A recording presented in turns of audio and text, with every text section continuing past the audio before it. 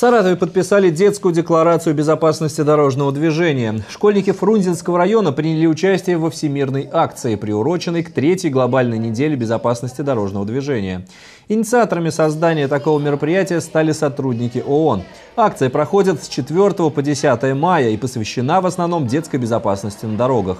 Юные саратовцы попадают в аварии не только самостоятельно нарушая правила, но и в качестве пассажиров. В рамках мероприятия школьники подписали детскую декларацию, в которой обратились к взрослым водителям быть внимательнее на дорогах. По словам сотрудников ГИБДД, такие акции в очередной раз напоминают и взрослым, и детям о правилах дорожного движения. Они в процессе всех этих мероприятий глубже изучают правила дорожного движения. Они э, сами обращают внимание на то, что э, дорожно-транспортное происшествие, это кроме блага, то есть это там велосипед, мотоциклы, потом дальше машины, там, это кроме блага, это еще и действительно опасность, можно и, как, и пострадать, а может быть и летальный исход, вот, поэтому э, все это направлено вот на, скажем так, еще раз на пропаганду того, что обратить внимание на соблюдение правил дорожного движения.